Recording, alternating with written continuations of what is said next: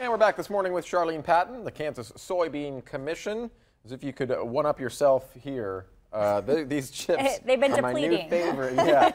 uh, but Charlene, you've got some other suggestions for us to keep our diets, right? We do. This is a winning recipe from the Kansas State Fair. Yeah. Uh, last year, each year we have the Heart Healthy Recipe Contest, which would be another opportunity to start sharpening up your recipes for this year's State yeah. Fair. But I'll let you tell who won this recipe. It's a winner. It's a winner from Margaret Miller of Burdett, Kansas. So she took the second place main dish or entree category. Yes, she did. All right. And you know, during the summer, we love salads, but Yes. sometimes we want to do something a little, Little different than just a lettuce salad all the time. So you'll love this recipe. We're going to start out with two cups of broccoli that I've just chopped there.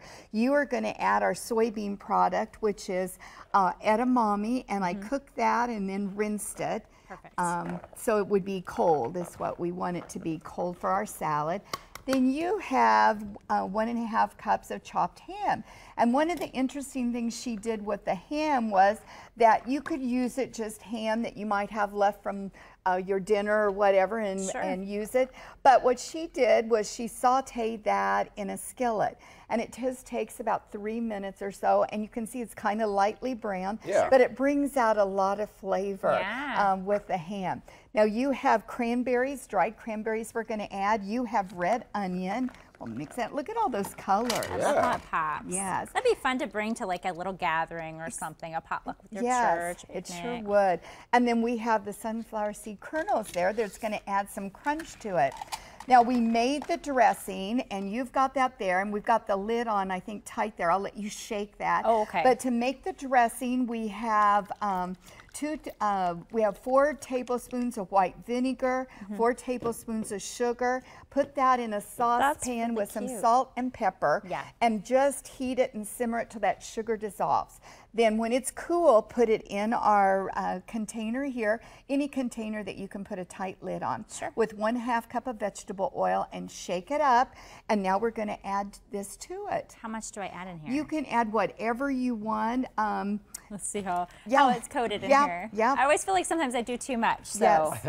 less And is more. it's a good idea. um, like good. you said, this is easy to serve with. So if Mm-hmm. you could put that on the table and let people add more if they wanted to. But look how nice that's coated. Now I would put that in the refrigerator and let it chill. sure. You mentioned taking it to a potluck. Yeah. And this would be a great one to do that with. Yeah, that But does look nice. It's a pretty color. wonderful recipe, and congratulations to her. I love this recipe, and it goes great with our uh, bread that we made earlier. And speaking of breads, what the, the National Festival of Breads coming up? It is June the 8th, Saturday in Manhattan, Kansas. We have this free brochure, so if you call our office, it gives you a little bit of the information about it. It starts at 8:30 and goes all day long. And gosh, there's something for the whole family. There's exhibits. It's a national baking contest. The finalists will be there actually baking Yeah. um, their final recipes, and then at, at three o'clock will be the final judging. I'll be on the stage with my family. We're going Oh, to I talk about baking with children and families, and there'll be three generations of us baking together on the stage with some great new recipes. Nice. Well, we always appreciate you advocating for letting them learn young. Yes. Yeah. And you're a big you're a big supporter of that. So thank you very much, Charlene. This is looking delicious right now. This is an epic staple of my diet from forever, and we appreciate uh, you very much. So there's your literature that you can find if you call up the Kansas Soybean Commission. You can find more information at kansassoybeans.org or the phone number right there. We'll be right back. Stay with us.